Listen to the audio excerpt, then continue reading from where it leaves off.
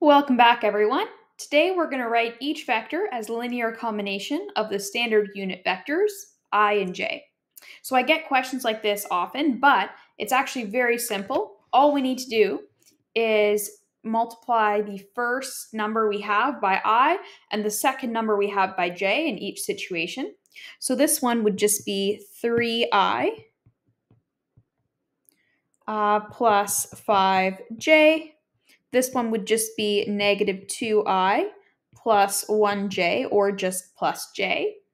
And then the third one would be negative 3i minus 4j, like that. And that's all there is to it. Any questions, please leave those in the comment section, and we'll see you for the next one.